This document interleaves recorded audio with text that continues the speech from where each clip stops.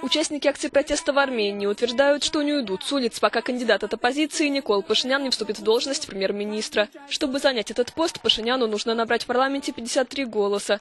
Поддержать его кандидатуру готовы три фракции, но получить необходимое большинство у него пока не получается. Исход выборов зависит от того, за кого отдадут свои голоса члены правящей республиканской партии. Мы хотим изменить систему, мы хотим больше демократии. Мы не желаем жить так, как живем сейчас. Мы хотим, чтобы у нас была нормальная зарплата. Вы понимаете, что я имею в виду. Мы хотим, чтобы соблюдались права человека. У нас в стране не должно быть политзаключенных. Я приехал из Брюсселя, чтобы присоединиться к местным жителям, потому что впервые за долгое время мы увидели реальную демократию. Мы увидели, что вместе мы можем изменить ситуацию. Я здесь, чтобы внести свою лепту. Я хочу быть маленькой каплей в этом океане. Ждать решения парламента армянам осталось недолго. Голосование должно пройти во вторник.